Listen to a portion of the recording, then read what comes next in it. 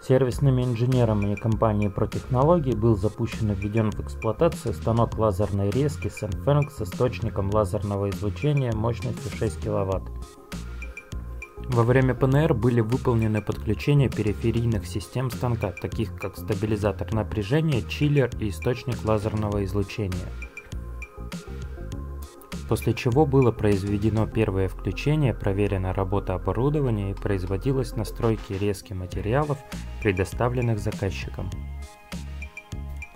Параметры резки материала выбирались таким образом, чтобы обеспечить лучшее качество контура реза при максимальной скорости.